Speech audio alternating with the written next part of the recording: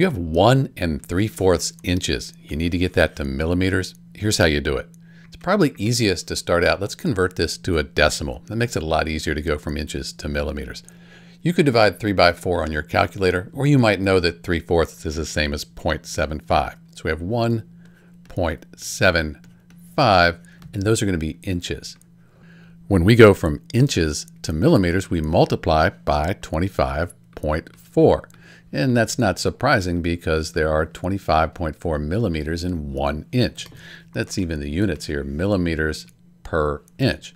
So we're going to multiply 1.75 times 25.4, and we end up with 44.45. I'm going to round that to 44.5.